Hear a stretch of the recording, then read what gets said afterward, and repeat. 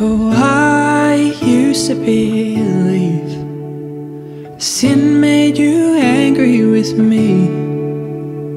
But then you came close and tore that old veil. You said you were proud of me. We cannot forgive.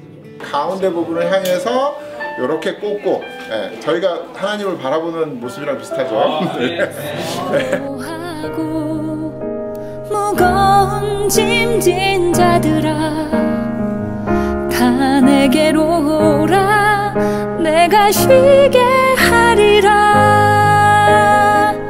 무거운 짐을 나 홀로 지고 견디다 못해.